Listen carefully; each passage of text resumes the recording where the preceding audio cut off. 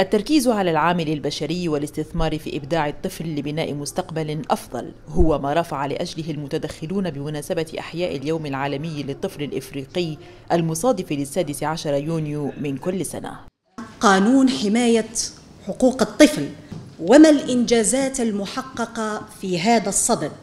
من المدرسة العليا للذكاء الاصطناعي والمدرسة العليا للرياضيات والمدرسة العليا لتكوين الأساتذة في الصم والبكم وغير ذلك لخير دليل على إصراره على الاستثمار في الإبداع العلمي بصفته ركيزة للبناء الحقيقي للبلاد.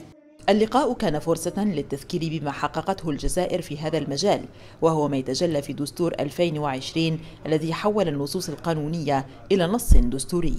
فمن الجانب المؤسساتي ترجمت هذه الإرادة بإنشاء ما يعادل 104 مركز متخصص في حماية الأطفال في خطر والجانحين والتكفل بالأطفال المسعفين. أوكلت لها مهمة ضمان الحماية الاجتماعية لهم.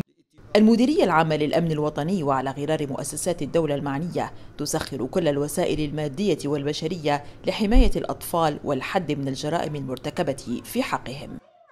حفاظا على السلامة الجسدية والنفسية للأطفال من الاستهلاك السيء للمضامين والاستعمال المفرط لمختلف وسائل التواصل الاجتماعي.